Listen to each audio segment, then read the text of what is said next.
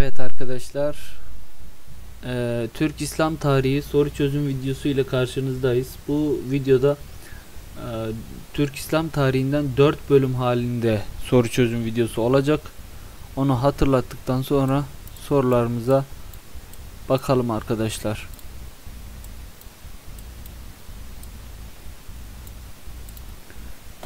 İlk sorumuza baktığımızda arkadaşlar yukarıdakilerden hangilerinin Türklerin İslamiyet'i kabul etmelerinde etkili olduğu söylenebilir? Türklerin Müslüman tüccarlarla kültürel etkileşim yaşaması, Maverahün Nehir bölgesinde gerçekleşen Talas Savaşı'nda Türklerin Müslümanlara yardım etmesi, evet. Türk töresi ile İslam ahlakının benzer yönleri.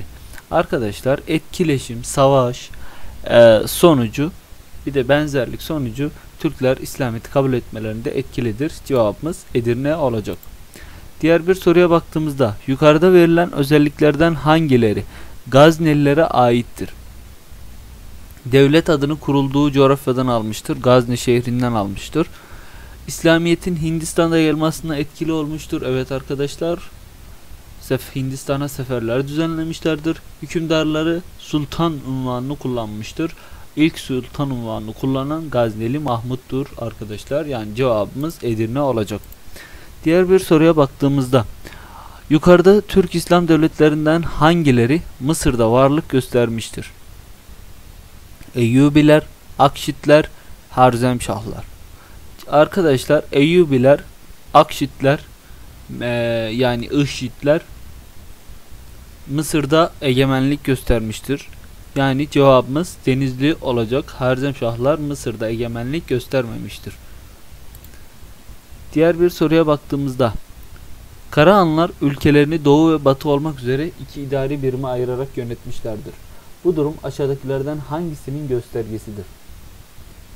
İslam dünyasının siyasa, siyasi liderliğini ele geçirdiklerini hayır. Göster göstermez bunu.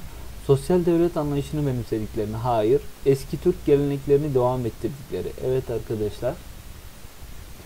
Ee, İslamiyet'ten önceki Türk devletlerinde de e, bu ikili yönetim yani ülkeyi doğu ve batı olmak üzere ikiye ayırması e, geleneği vardı. Yani cevabımız Ceyhan olacak. Diğer soruya baktığımızda aşağıda da, aşağıdaki devletlerden hangisinde iktidat sistemi uygulanmamıştır? Anadolu Selçuklu Devleti, Gazneliler, Büyük Selçuklu Devleti, Memlükler. Ee, Edirne'de dedi, diyor ki Asya Hun Devleti. Asya Hun Devleti'nde arkadaşlar iktisat sistemi diye bir şey yoktu. Cevabımız Edirne. Diğer bir soruya bakalım. Aşağıdakilerden hangisi Türk İslam devletlerinde Orta Asya geleneklerinin devam ettiğinin göstergesi değildir? Yani İslamiyet'ten sonra değişmiş olacak ya da İslamiyet'ten sonra meydana gelecek. Ülkenin hanedan ve ortak hanedanın ortak malı sayılması evet. İslamiyet'ten önce de vardı. Danışma meclislerinin olması evet. Otağı hükümdarın alametleri arasında sayılması evet. Medreselerin inşa edilmesi. Ee, İslamiyet'ten önceki Türk tarihinde medrese falan yoktu arkadaşlar. Yani cevabımız Denizli olacak. Hanedan üyelerinin yönetici olarak illere atanması.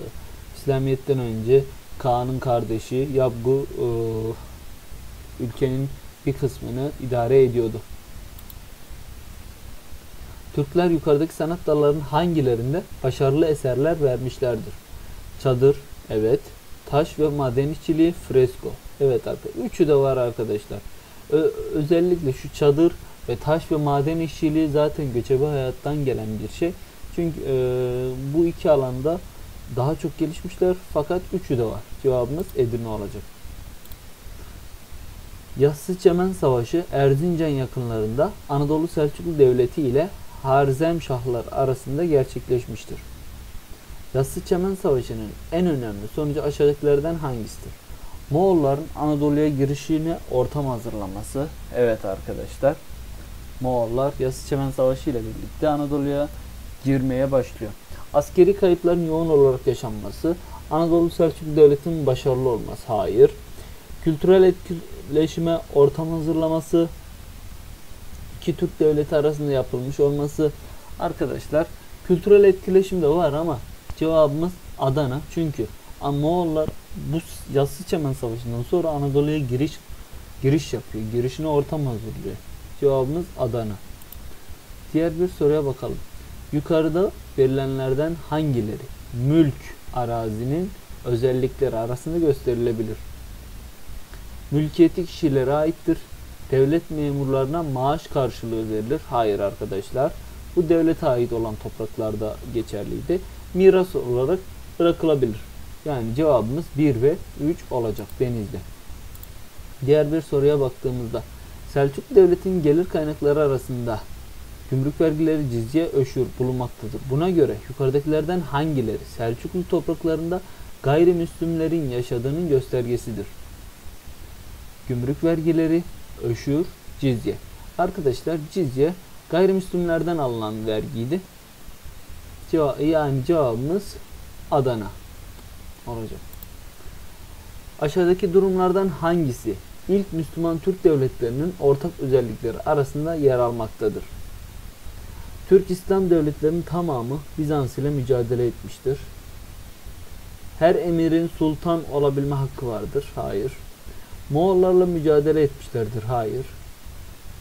Bilimsel ve kültürel alanda İslam dünyasına katkı sağlamışlardır. Evet arkadaşlar ortak özelliktir. Çünkü e, hani çoğu devlette bilimsel ve kültürel alanda İslam uygarlığına katkı sağlamış olmuştur. Haçlılara karşı önemli başarılar elde etmişlerdir. Bazıları e, Haçlılarla savaşmamıştır bile. Yani cevabımız deniz olacak. Diğer bir soruya bakalım. Yukarıda özellikleri verilen eser ve yazarı aşağıdakilerden hangisidir? Yazarı bilinen ilk Türk İslam eseridir. Siyasetname özelliği gösterir. Öğüt verici niteliktedir. Arkadaşlar siyasetname özelliği taşır deyince direkt aklımıza Kutat Kubilik gelecek. İlk Türk İslam eseri. Yazarı bilinen ilk Türk İslam eseri Kutat Kubilik Yusuf Has Hacip tarafından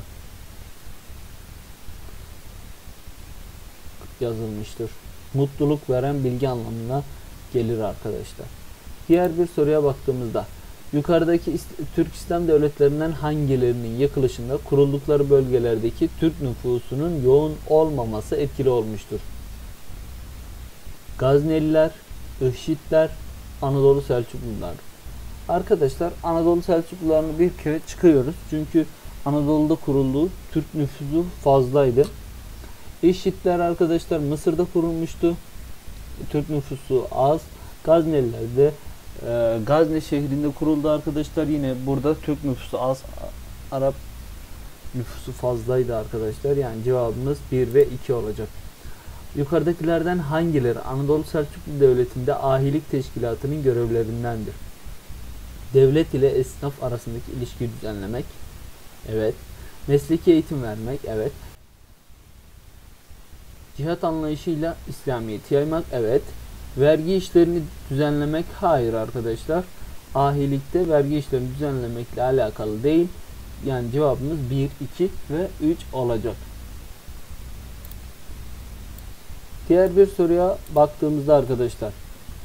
Aşağıdakilerden hangisi Anadolu Selçuklu Devleti'nin yıkılma sebeplerinden değildir? Baba ile isyanının çıkarılması, Moğol baskısının artması, devlet adamlarının yanlış politika izlemeleri, Batıni tarikatının çalışmaları, Haçlı seferleri. Arkadaşlar cevabımız e, Denizli arkadaşlar. Batıni tarikatının çalışmaları Büyük Selçuklu Devleti'ni yıkmıştır. Anadolu Selçuklu Devleti'ni değil. Diğer bir soruya bakalım. Aşağıdakilerden hangisi Tokat ve Malatya bölgelerinde hüküm sürmüş olan birinci dönem Türk beyliğidir? Danişmentler, Mengücekler, Saltuklular, Hamitoğulları, Germiyanoğullar. Bir kere şu son ikisini çıkıyoruz çünkü bunlar e, birinci dönem Türk beyliği değil. E, Danişmentler Tokat çevresinde, Tokat, Malatya çevresinde kurulmuştur arkadaşlar. E, Mengücekliler Erzincan çevresinde kurulmuştur arkadaşlar. E, Saltuklular ise Erzurum civarında kurulmuştur arkadaşlar. Yani cevabımız danışmentler olacaktı. Diğer bir soruya bakalım. Yukarıdaki görevlilerden hangileri Selçuklu hukuk sistemi içinde yer almaz? Kadil Kudat, evet. Emiri Ars, Emiri Dat. Arkadaşlar cevabımız Bursa yani Emiri Arz olacak. Em- Hukuk sistemi içerisinde değil arkadaşlar. Emiri Arz askerlikle ilgili so- e, sorumludur arkadaşlar. Emiri Dat e, adaletten gelir arkadaşlar. Emiri Arz e, askeri işlerden sorumludur arkadaşlar. Ev, e, Emiri Dat ise adalet işlerinden sorumludur. Kadıyül Kudat zaten adaletin içinde. Yani cevabımız yalnız iki olacak. Emiri Arz askerlik işlerinden sorumlu olan görevli. Bu açıklamaya göre Anadolu Selçuklu Devleti ile ilgili aşağıdaki yargılardan hangisine ulaşılamaz? Anadolu Selçuklu Devleti zamanında Sinop ve Alanya gibi şehirler ele geçirilmiş. Ayrıca hükümdarlar ve yöneticiler Anadolu şehirlerinde birçok kervansaray, cami, medrese ve imarathane yaptırmışlardı. Şehirleşme çalışmalarının yapıldığına, evet. Halkın kültürel seviyesinin yükseldiğine, evet. Medrese falan yapılıyor. Denizciliğe önem kazanıyor, evet. Tersane. Ee, Sinop ve Alanya gibi şehirler kuşatılıyor. Anadolu Selçuklu Devleti'nin siyasi otoritenin arttığını evet topraklar artıyor, siyasi otorite artıyor. Anadolu'da siyasi bütünün tamamen arkadaşlar videolarda size hani soru çözme mantığından bahsetmiştik. Hani tamamen diyor kesin yargı kullanıyor. Onda vardır bir sıkıntı. Yani cevabımız Edirne olacak. Kesin demiyoruz ama arkadaşlar vardır bir sıkıntı diyoruz. Cevabımız Edirne. Anadolu Selçuklu Devleti'nde fethedilen bölgelere Türkmenlerin yerleştirilmesinin temel sebebi aşağıdakilerden hangisidir? Tarım ve hayvancılığı geliştirmek, ticareti geliştirmek, yerleşilen bölgeyi imara açmak, sosyal sınıflaşmayı önlemek, fetihlerin kalıcı olmasını sağlamak. Cevabımız Edirne arkadaşlar. Türkmenleri yerleştirip fetihlerin kalıcı olmasını sağlıyoruz. Anadolu Selçuklu Devleti'nin son dönemlerinde Moğol baskısından kaçan Türkmenler geldikleri arazilere izinsiz olarak yerleşmişlerdir. Bu gelişmeye göre yargılarından hangilerini desteklemektedir? Tımar sistemi uygulanmıştır. Hayır. Topraklar devletin denetimi dışında el değiştirmiştir. Evet. Çünkü hani izinsiz yerleşiyor. To- devletin toprağına yani e, günümüz tabiriyle e, söylersek hazine toprağına yerleşiyor. İzinsiz devletten izin almadan yerleşiyor. Ticari hayat canlanmıştır. Hayır arkadaşlar. Yani cevabımız Bursa olacak. Yalnız iki. Diğer bir soruya baktığımızda Selçuklularda vergi, askerlik ve ticari alanlardaki davalara, örfi mahkemeler, dini alanlardaki davalara ise şer'i mahkemeler bakmıştır. Bu bilgiye dayanılarak açıklamalardan hangileri yapılır? Adli düzenlemenin yapıldığı, evet. Hukuk alanında birlik olmadığı, evet arkadaşlar. Farklı mahkemeler, farklı bölümlere bakıyor. Her alanda kanun üstünlüğünün sağlandığını, hayır arkadaşlar bunu diyemeyiz. Cevabımız denizde olacak. 1 ve 2. Anadolu Selçuklu Devleti'nde ordunun ihtiyaçlarına ve savunma işlerine bakan divan aşağıdakilerden hangisidir? Vezaret Divanı, Tuğra Divanı, Arz Divanı, İstifa Divanı, İşraf Divanı. Şöyle tanımlarsak arkadaşlar, Vezaret Divanı mali ve genel yönetim işleriyle ilgilenen başkanı vezir olan divandı. Tuğra Divanı devletin iç ve dış yazışmalarını yapan divandı.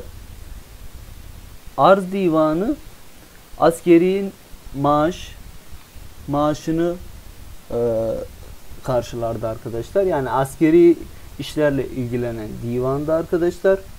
E, devletin mali işlerine bakan divan istifa divanı. E, İşraf divanı ise yine arkadaşlar Selçuklularda mali işleri denetleyen divandı arkadaşlar. Yani cevabımız askeri olan arz divanıydı. Ceyhan oluyor arkadaşlar. Diğer bir soruya baktığımızda aşağıdakilerden hangisi Anadolu Selçuklu Devleti'nde ticareti geliştirmek amacıyla yapılan faaliyetlerden değildir? Alanya'nın fethedilmesi evet. Kırım'a sefer düzenlenmesi, han ve kervansarayların inşa edilmesi, sigorta uygulamasının başlatılması, gümrük vergilerinin arttırılması. Arkadaşlar gümrük vergilerini arttırırsan ticaret artmaz, azalır. Cevabımız Edirne. Diğer soruya baktığımızda aşağıdakilerden hangisi Anadolu Selçuklu Devleti'nde dirilik toprakların dağıtımından sorumlu olan kişidir? A. Naip B. Pervaneci C. Müşrifi Memalik D. Emiri Ars E. Tuğrai Arkadaşlar di- dirilik topraklarının dağıtımından sorumlu olan kişi pervaneciydi arkadaşlar. Ee, yani cevabımız Bursa olacak. Diğer soruya baktığımızda evet arkadaşlar bu video bu kadar. Diğer bir videoda görüşmek üzere. Hoşçakalın.